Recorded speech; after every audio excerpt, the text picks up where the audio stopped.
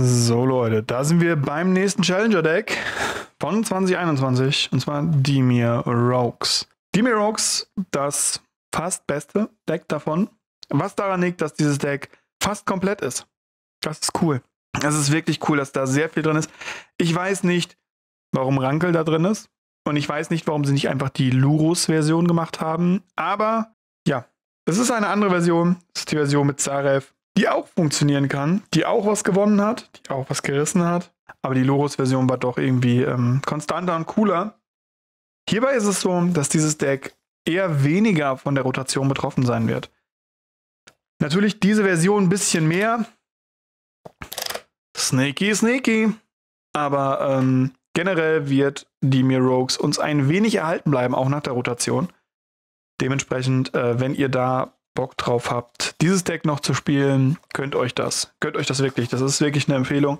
Das ist ein ganz cooles Deck. Es macht auch Spaß tatsächlich, selbst mir als nicht so standardversiler Spieler. Dann haben wir Rankel, warum auch immer Rankel da vorne drauf ist und hier diesen Ding. Ich habe es noch gar nicht erwähnt. Ich finde es großartig, dass hier sehr viel Pappe dabei ist und sehr wenig Plastik.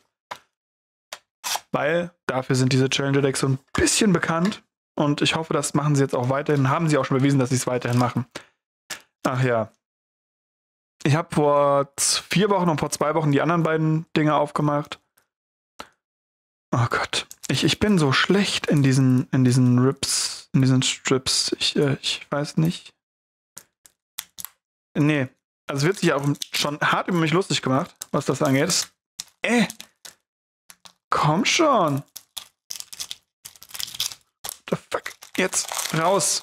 Komm, rum, weg, weg, weg. Bleibt am Finger kleben. So, wir gucken uns Demir Rogues an. Wir haben Black Bloom Rogue. 3 Mana 2, 3 mit Menace und der kriegt plus 3 plus 0, solange der Gegner 8 oder mehr Karten in seinem Friedhof hat. Dieses 8 oder mehr Karten in seinem Friedhof wird öfter uns vorkommen bei Rogues. Und es ist eine aggressive Milchhell, was ich einfach cool finde als Deck. Die kann man auch als Land reinbringen. Dann Malakir Rebirth. Für ein schwarzes Instant können wir uns eine Kreatur suchen. Wir verlieren zwei Leben. Und bis zum Ende des Zuges, wenn die Kreatur stirbt, kommt sie wieder ins Spiel, und zwar getappt.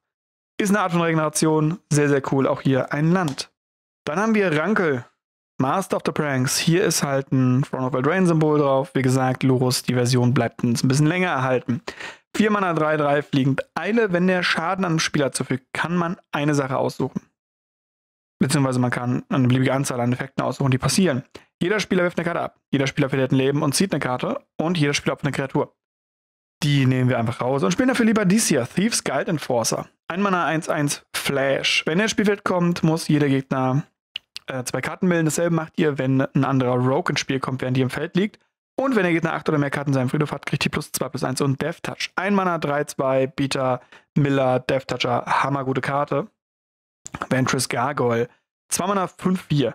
Kann nicht angreifen, es sei denn, der Beherrscher hat 7 oder mehr Karten in seinem Friedhof. Das sollte er haben. Und kann nicht blocken, es sei denn, wir haben 4 oder mehr Karten in unserer Hand. Dadurch, dass wir ein sehr flashlastiges, kontrolllastiges Deck spielen, haben wir oftmals die 4 Handkarten in der Hand. Aber ansonsten ist es irrelevant, ob der blocken kann oder nicht. Wir wollen mit ihm halt hauptsächlich angreifen. Als 2 Mana 5 4 Flieger ist es schon ziemlich gut. Und wir können ihn notfalls auch einfach tappen, um jedem Spieler die oberste Karte von seinem Deck in seinen Friedhof legen lassen. Das ist schon, schon ziemlich gut. Playset? Naja, nicht ganz. Nightwalk äh, Scavenger, nice. Den habe ich nicht erwartet. 3 Mana 1 plus X und 3.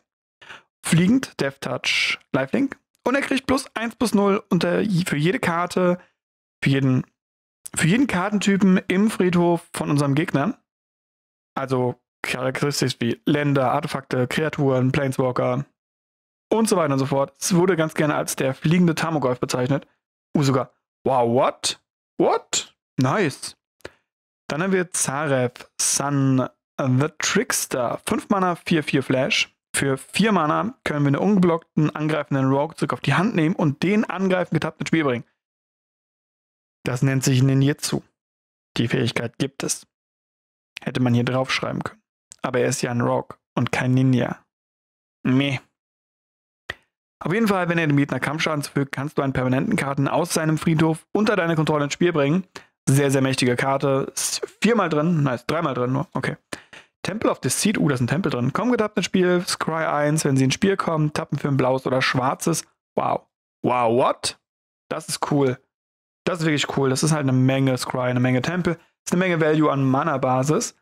Ähm, weil, okay, da kommt noch mehr. December das finde ich jetzt nicht so cool. Da hätten sie auch andere coole Sachen reinmachen können. Kommt getapptes Spiel, kriegt ein Leben. Tappen für blau-schwarz. Den habe ich gesucht. Mehrfolg Wind Robber. Ein Mana 1-1 fliegend. Und wenn der Spieler Schaden zufügt, muss er eine Karte melden. Und man kann ihn opfern, um eine Karte zu ziehen. Kann man nur machen, wenn der Gegner 8 oder mehr Karten im Friedhof hat. Fliegen, das ist halt sehr, sehr cool.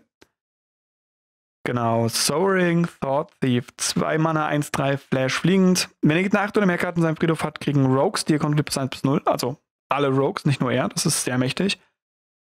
Und immer wenn ein oder mehr Rogues angreift, muss jeder Gegner zwei Karten melden.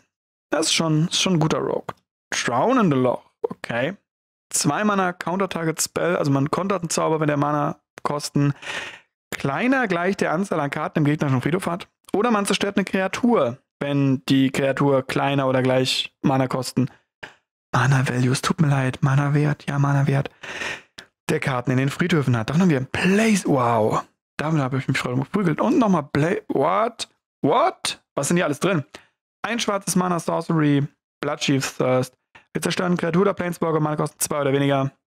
Für drei Mana können wir das Ding kickern. Wenn er kickert ist, können wir für vier Mana einfach einen Kreatur oder Planeswalker zerstören. Hammer. Hammer. Ja, Eliminate, drei Mana wird zerstören, eine Kreatur der Planeswalker Mana kosten drei oder weniger. Auch das, Hammer und Heartless Act. Wow, alles an Removal. Zwei Mana, Juice One wird zerstören entweder eine Kreatur mit keinen Countern oder wir removen drei Counter von der Kreatur. Hammer. Also das, das Rogue-Stack ist echt, echt gut. Ähm, es fehlen die Ruin Crab, glaube ich, und eben der Lurus und dafür kann man was rausnehmen. Oder man spielt halt ohne Lurus, aber die Ruin Crab fehlen auf jeden Fall. Das finde ich aber nicht schlimm. Bei Krabben kann man eh nicht genug haben. So, dann haben wir noch das Sideboard. Gucken wir uns das Sideboard an. Wir haben Negate. Zwei Mana, wir kontern einen Nicht-Kreaturenzauber. Zwei davon. Into the Story. Sieben Mana, ach du Scheiße. Dieser Zauber kostet drei Mana weniger, wenn der Gegner sieben oder mehr Karten im Friedhof hat. Also kostet er dann fünf Mana und wir ziehen vier Karten. Instant. Okay, gegen Control vielleicht. Pestilence Haze drei Mana Sorcery, wir suchen uns aus. Entweder kriegen alle Kreaturen mindestens zusammen das 2, was gegen Rot und Agro ganz cool ist. Oder wir removen zwei Loyalty-Counter von jedem Planeswalker. Na, auch nicht schlecht. Agnostic Remorse. Also das ist tatsächlich ganz cool, weil zu dem Zeitpunkt halt noch die ganzen äh, Planeswalker, also mit M21 Planeswalker auch rumgelaufen sind, die einfach dann im passiven Effekt einfach liegen gelassen werden. Das tötet das. Agnosing Remorse. Zwei Mana Sorcery. Ein Spieler eurer Wahl zeigt die Handkarten offen vor. Ihr wählt eine Nicht-Landkarte davon oder eine Karte aus dem Friedhof und exilt die Karte und ihr verliert ein Leben. Sehr, sehr mächtiger Discard-Spell. Klingt du das, sehr, sehr mächtiger sonstiger Spell. Für ein schwarzes Mana, wir exilen eine Karte aus dem Friedhof. Wenn es eine Kreaturenkarte ist, kriegen wir drei Leben. Wenn es keine Kreaturenkarte war, dann ziehen wir eine Karte. Und wir können ihn escapen für fünf Karten aus dem Friedhof und vier Mana. Das war eine sehr gute Antwort gegen sowas wie Uro und ist immer noch eine sehr gute Antwort gegen sowas wie Croxer. Da kommt noch ein Bloodchief First. Nummer 3. Duress, ein schwarzes Mana, der Gegner zeigt seine Hand vor, ihr wählt eine Nicht-Kreatur, Nicht-Landkarte davon und der muss sie abwerfen. Davon haben wir hoffentlich zwei oder drei drin. Drei. Und Fairy Rogues, und was haben wir hier? Auch die 1 von 9. Ich sage es immer wieder. Hier wäre cool gewesen, wenn wir hier nicht die 1 von 9 hätten, sondern irgendwie 1 von 9, 2 von 9, 3 von 9, 4 von 9, 5 von 9, 6 von 9.